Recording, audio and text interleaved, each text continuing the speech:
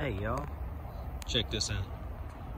how to identify a great blue heron. Did you see him whenever I just panned across there? Well, here's a trick to identifying a great blue heron. You ready? So inside of some of these marsh type habitats where the littoral shelves are all set up, a great blue heron is an ambush type of a hunter. So he might be hiding in there. If we scan across, I'm gonna zoom in for you. There you go. It's your great blue heron.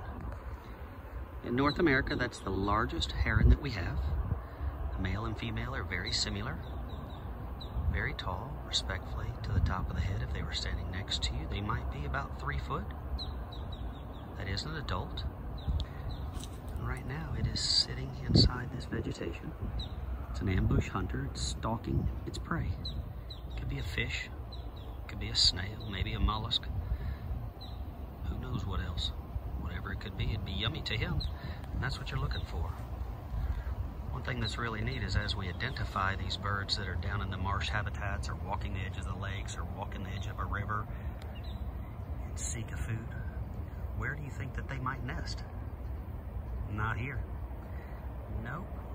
Where they would actually nest is right up here in that pine tree overhanging the water.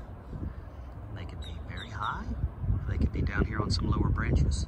But what they like to do is to be able to nest at a rookery, which is more common, but a solitary type of a pine tree or other that would be overhanging water.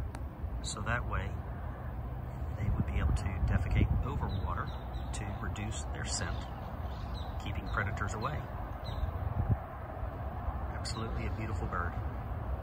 But that's your great blue heron. Other birds that we hear in the distance right now are boat-tailed grackles. There's been some common grackles, red-winged blackbirds. Maybe here in a minute, I hear a fish crow. But here in a minute, we may also get a little flock of the Nanday parrots pass by. Or in this particular region, they may be the monk parakeets. Or Quakers, depending upon where you're from. But we'll see pass by again as we sit here and watch this great blue heron, maybe if it stalks something for us while we're waiting.